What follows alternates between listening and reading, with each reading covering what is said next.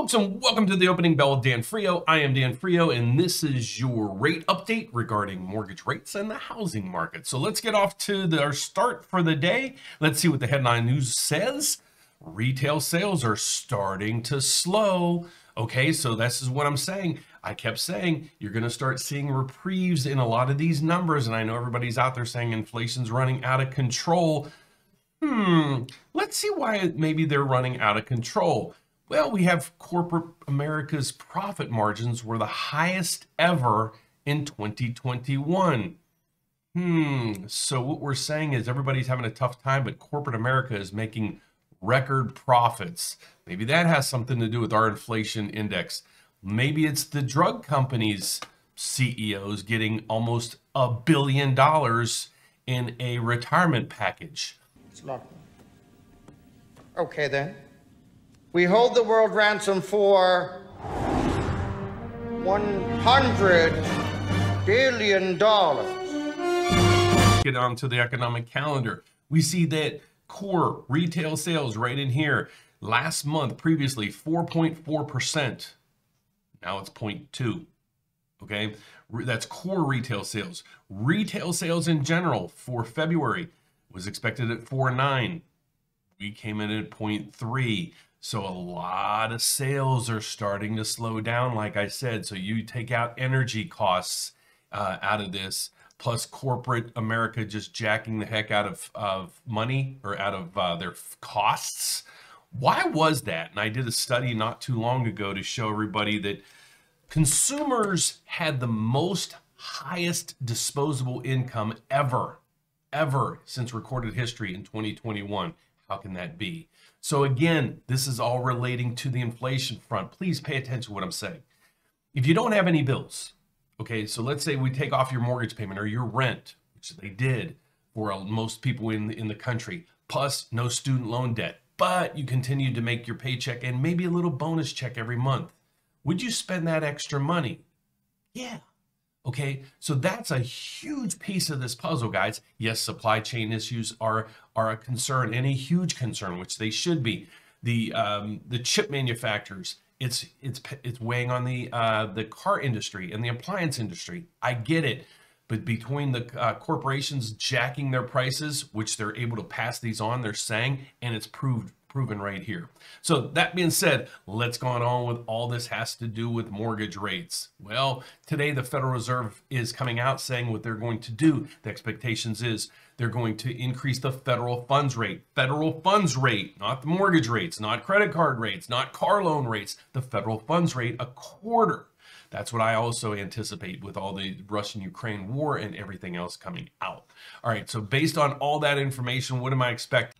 Well, my expectations is the Federal Reserve comes out later today and says we're going to increase rates 25 basis points. The markets are going to say, poof. And then they're going to start looking for the next uh, Fed meeting, which is going to be in six weeks. What are they going to do then? So that's when the inflation numbers and the job numbers are really going to start playing a role. So let's get over to the mortgage rates. That's why you are here.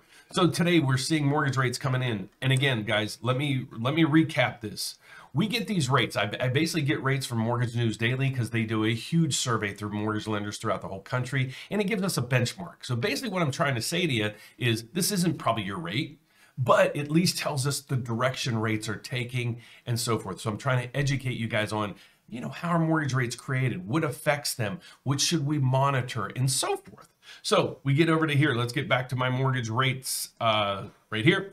Today's 30-year fixed rate is coming in at 4.42. That is up one basis point. The 15-year fix is coming in at 3.74. That is up two basis points. We then get to the FHA rates. FHA slash VA is 3.88. No change there. The jumbo is coming in at 3.86. It is up one basis points. And the ARM continues to go up.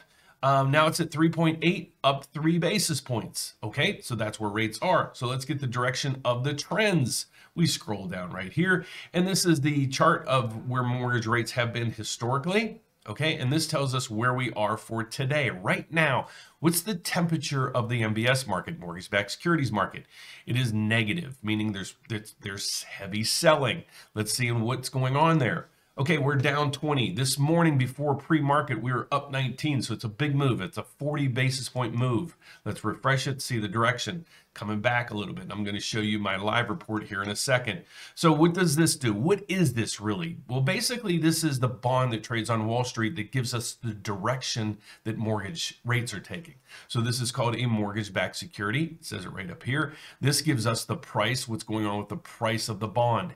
As this number goes down, okay, mortgage rates or yields go up. Just as an inverse relationship. The bigger this number, the bigger the move. This is an okay number. Uh, lately, we've been seeing about 70 and 80 basis points, which is really out of whack. Um, so 16 basis points, I'll take it. What's happening today? Biggest news we're waiting for the day is the FOMC. What they're going to come out and tell us what they decided to do on how much they're going to raise the federal funds rate. Um, so that is our morning update, our morning report. If you find interest in my channel, I hope you do. What do I ask you to do? Well, the biggest thing is reach out to us. We are more we are the largest mortgage brokerage in the country, reaching out to help you guys with a mortgage. If you're looking to build a house, I did a video last night with huge reception. A lot of people that are building houses are getting stuck. They can't rate lock until about 30 or 45 days prior to closing. You know, a lot of people are getting horror stories. They were pre-approved at 275. Now the rate's at four and a half. Their rate, their payments went up about six, 700 bucks on average.